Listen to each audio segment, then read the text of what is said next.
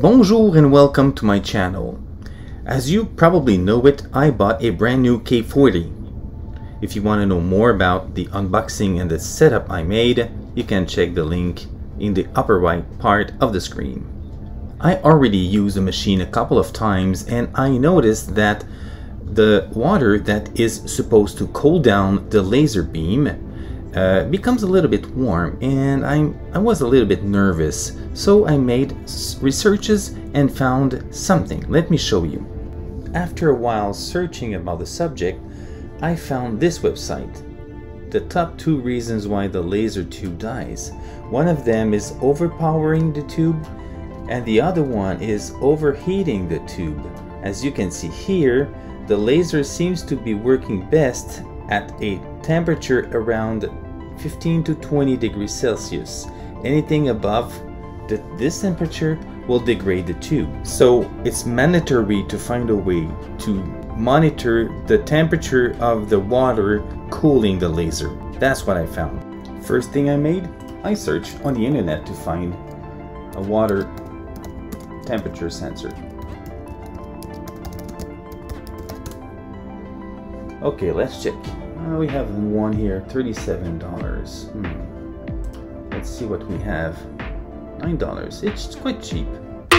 Wait a minute. I can build one. Let's go back to the laser. So, what I need is build a temperature sensor with a probe that goes inside the water bucket and with a display that I will set up right here. Let's do this. First, I already had this sensor, a DS18B20, which is a three-wire sensor, very easy to connect. I designed a prototype that is working. Now let's check the electronic circuit.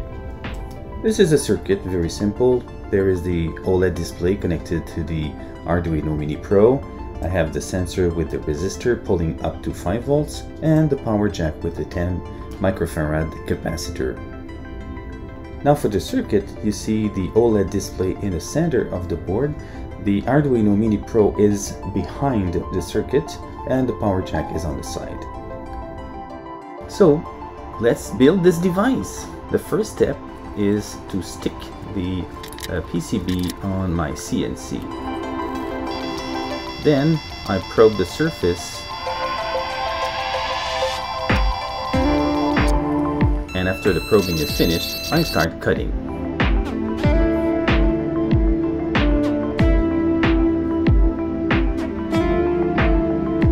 The cut took about 15 minutes. Once the cut is finished, I have to drill all the holes. Et voila! This is the final board. Let's solder the components on it.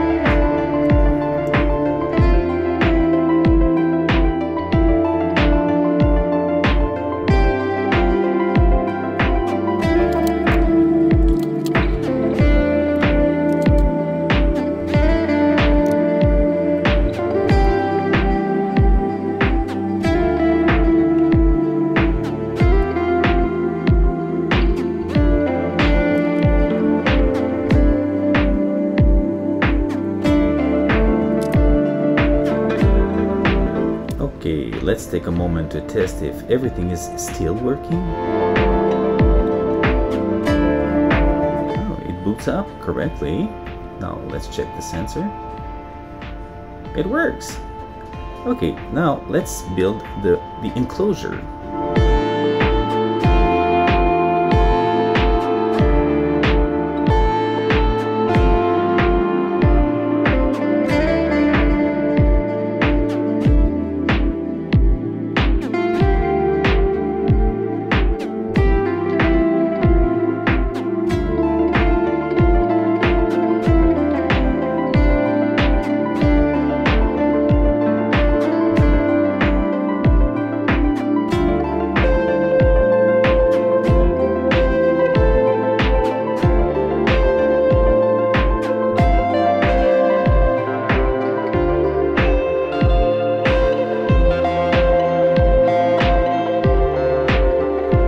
After a few hours of printing, this is the final enclosure.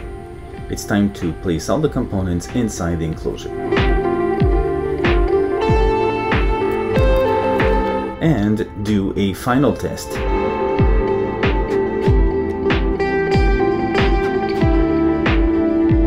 It looks good. Okay. Now let's install the probe. I put the probe inside the water bucket and set up the display right here. If I power up all the system, I can read the temperature of the water which is at 14 degrees Celsius. And let's say I use the laser for a while, the temperature may rise and if I want to lower it, what I do is I put a frozen bottle of water inside the water bucket. So this is about it for the project. It took me about half a day to get this device complete and fully functional. So instead of buying, you know, I like to build it. Now I can keep an eye on the temperature of the cooling water. But this is the end. I hope you enjoyed it. I hope I inspire you and see you next time. Bye.